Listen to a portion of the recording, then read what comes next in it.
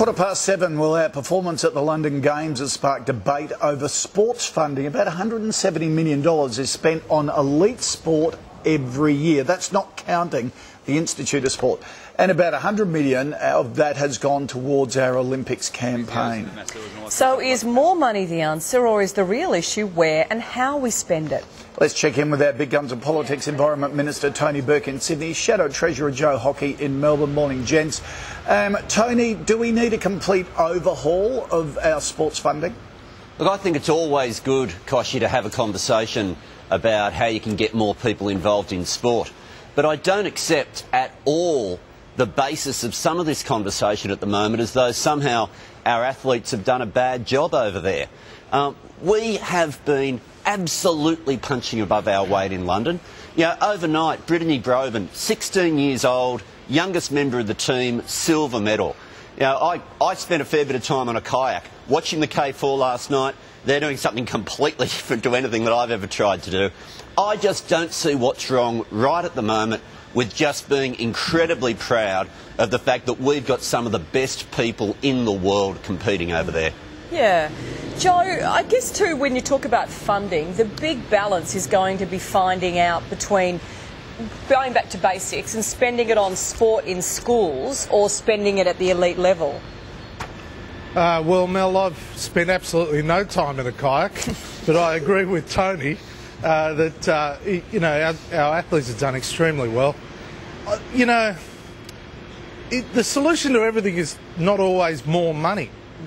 Uh, sometimes there are other solutions, and uh, we'll find out what they are. But 170 million dollars a year on top of what is already spent with the Sports Commission, on top of the amount of money that's spent on infrastructure, uh, stadiums, and a range of other things, it's not always money. Sometimes there are other factors at play.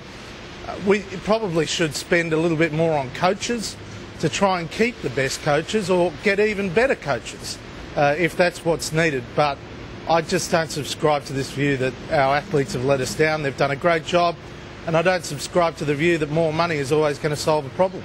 Okay. All right, let's move on. And the biggest boatload of asylum seekers in five years has been rescued in Australian waters.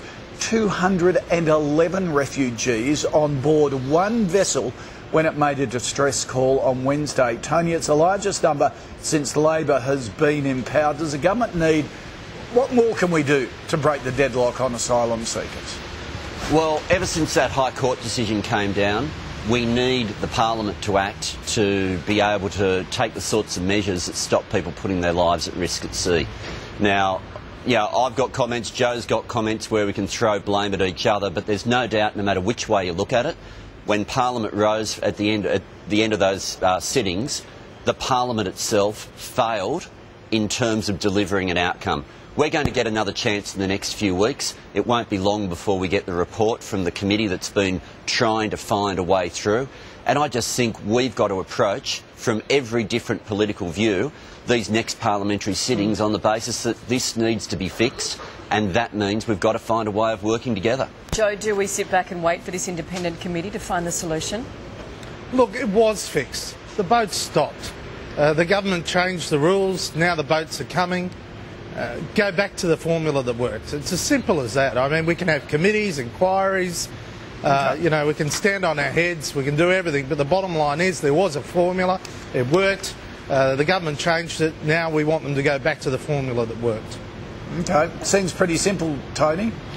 Well, ever since the High Court, the, the High Court rule that came down, the, that ruling when it came down, what was that last year, that changed and meant that even what the Howard government had previously done would no longer be legal.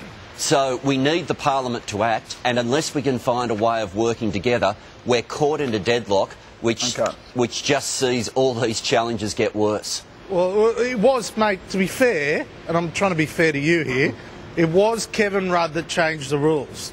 He was the one that changed the rules, got rid of temporary protection visas and so on. So it was Kevin Rudd that got, uh, got us into this mess and the government doesn't know how to get us out of it, and we've okay. offered a solution. Pick All right. Okay, guys, thank you for that. Anytime. Good to see you. See you next week. See ya. See ya. Have a good day. All right, now drivers.